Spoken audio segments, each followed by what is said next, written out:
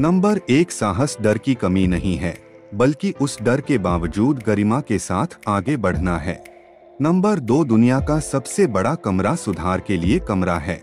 Number तीन जो चिंता करता है, वही आपका स्वामी होता है। नंबर चार कोई कह सकता है कि दुनिया की अनंत रहस्य है कि यह समझने योग्य है। नंबर पाँच अपने जीवन में कुछ भी लाने के लिए कल्पना करें कि वह पहले से ही वहाँ है। नंबर छह, हमारा सभी ज्ञान हमारी अनुभूतियों में अपनी उत्पत्ति होती है। नंबर सात, एक दूसरे को नहीं दबाना। नंबर आठ, मूर्खतापूर्ण दिखने में और इसे नहीं करते हुए शक्ति होती है।